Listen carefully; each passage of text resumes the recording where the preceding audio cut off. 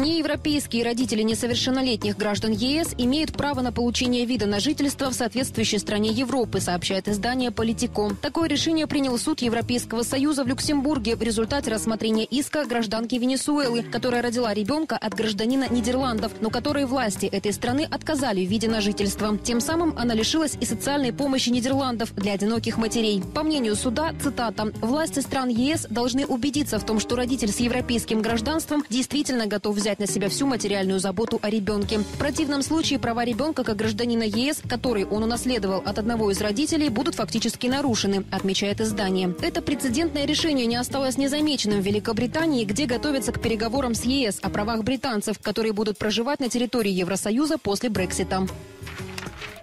Уровень инфляции в Египте в апреле достиг максимума за последние 30 лет. Годовая инфляция достигла 31,5%. В марте показатель составил 30,9%. Из-за роста цен на продукты питания многие египтяне вынуждены переходить на вегетарианскую диету. Цитата. «Мы едим только бобы и фалафель, но даже они стоят очень дорого. Раньше мы могли купить бобы за один фунт. Этого хватало на завтрак для всей семьи. Но сегодня завтрак стоит уже 2 и даже 3 фунта, а за фалафель приходится платить 5 фунтов, передает Евроньюз. За последние последние месяцы стоимость продуктов первой необходимости, таких как рис, мука и сахар, выросла в Египте на 80%. В ноябре прошлого года Центральный банк страны объявил о введении плавающего курса египетского фунта, выполнив одно из основополагающих условий МВФ для выделения кредита. За это время египетская валюта потеряла половину своей стоимости.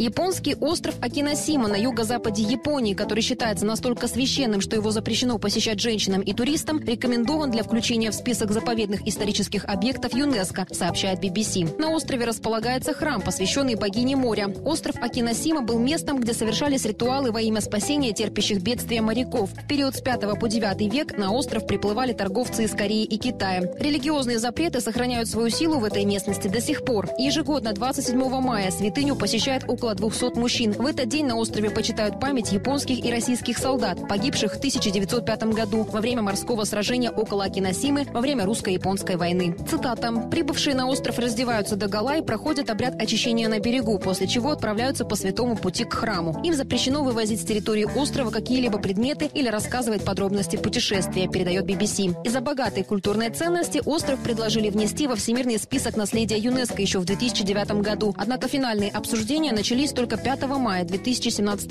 года. Если решение примут, у специалистов появится теоретическая возможность изучить территорию на предмет исторических находок. Формально это решение не дает ученым права заходить в храм или вскрывать местные гробницы без разрешения старейшин. Монахи храма сразу же высказались против предложения ЮНЕСКО. По их мнению, включение святого места в международный список привлечет нездоровый интерес туристов. Старейшины пояснили, что ни при каких обстоятельствах не позволят неизвестным людям посещать место, где некогда побывали боги. Финальное решение о включении включение острова в список примут на конференции ЮНЕСКО в июле 2017 года. Неизвестно, планируют ли японские власти договориться с монахами храма или же пойдут против запрета посещать святое место обычным людям.